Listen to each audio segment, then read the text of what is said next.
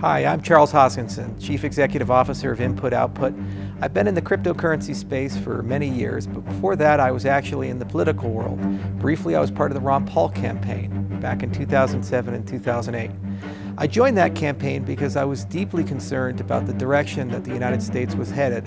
Uh, we had greatly departed from the Constitution, sound monetary policy, and unfortunately we embraced a very aggressive foreign policy instead of a humble one. So the principles of that campaign have lived on for many years in the cryptocurrency movement and many other political elements, but we've never really found a great candidate since uh, Ron himself ran and his son ran.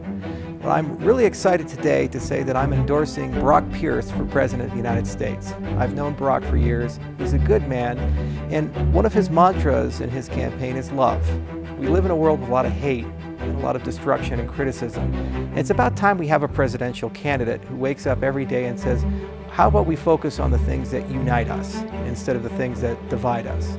Somebody who's a proven entrepreneur, who's achieved great business success, but also has an enormous amount of creativity throughout his life, from being a child actor to having a great appreciation for art, and also a good humanitarian who has been to many countries and has dealt with many crises throughout his time.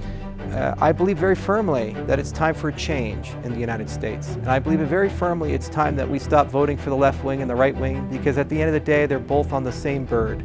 We need to do something a bit differently.